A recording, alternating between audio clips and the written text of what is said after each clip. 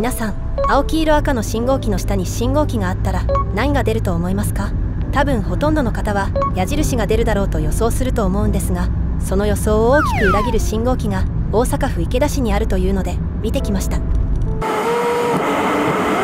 国道176号を北上し未納の案内を頼りに高架道路から流出。すぐの交差点を右折すると見えてきます。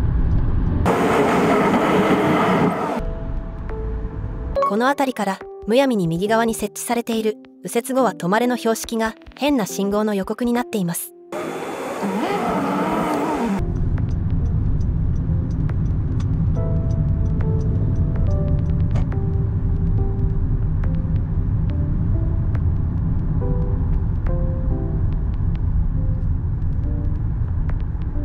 奥に見えるこれが目当ての信号なんですがちょっと見づらいですね。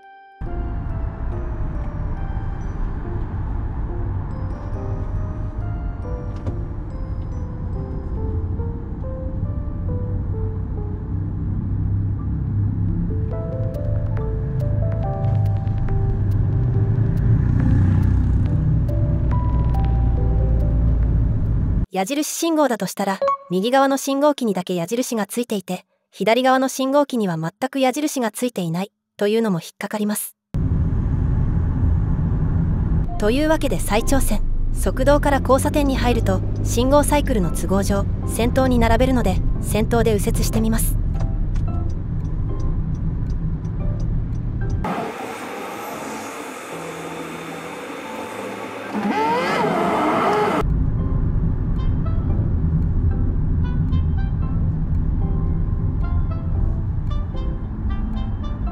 これだと見やすいですね。こちらが止まれ信号機です。矢印ではなく止まれと出すためだけに信号機を1台使っており赤信号時に点灯します。またメインの信号機は LED 信号機に更新されていますが止まれ信号機は電球式のままになっています。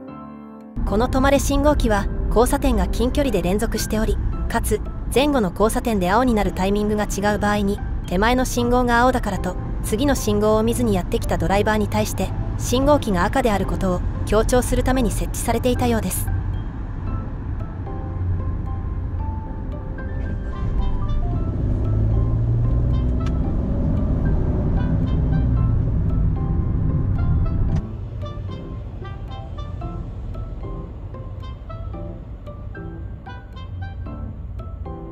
最近は他府県と同じように距離制限フードをつけて信号機の投下自体を見づらくすることで対応するケースが増えており止まれ信号機の新規設置は見込めない状況です。止まれ信号機はこの交差点以外にも大阪府道2号線中央環状線沿いに点在していましたが LED 化の波でほとんど撤去されてしまって LED 表示板に更新されてしまいました。おそらく唯一残っている例がこの交差点のこれです。